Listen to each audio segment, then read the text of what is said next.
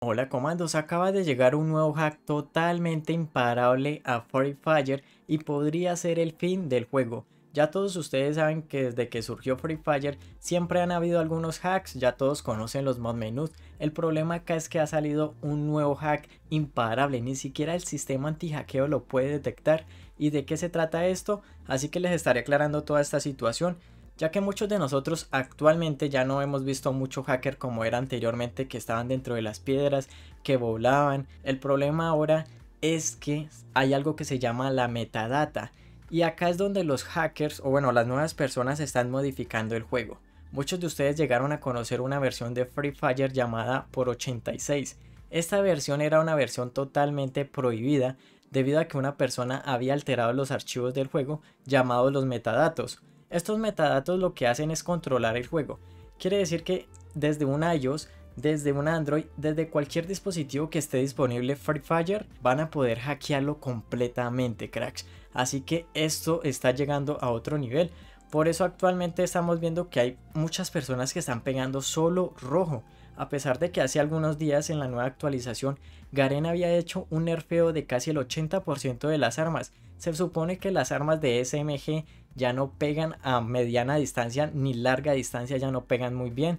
Estas personas están alterando los metadatos y de esta manera es que salen nuevas versiones de Free Fire y esto es totalmente imparable. Los metadatos es un conjunto de archivos que están dentro de la aplicación, dentro del juego. En ese momento en que las personas descompilan la aplicación, cambian estos metadatos y quiere decir que el sistema anti-hack ni siquiera detecta ningún error ya que usted le puede colocar en vez de jugar en defecto, ya que si usted juega en defecto o en cualquier otro modo, usted le puede cambiar esta opción y en vez de que diga por defecto, puede colocarle pura capa. Quiere decir que todo lo que usted va a pegar lo va a pegar a la cabeza, ya que usted está modificando los metadatos, los archivos del juego directamente y así va a ser un autopuntado, pero en vez de pegar al pecho, lo va a pegar a la cabeza, cracks. Por eso es que hace algunos días la empresa llegó a suspenderle la cuenta a muchos jugadores temporalmente por algunos días y a otros los banearon permanentemente por utilizar esa versión llamada Free Fire por 86, ya que era una versión que estaba mejor optimizada,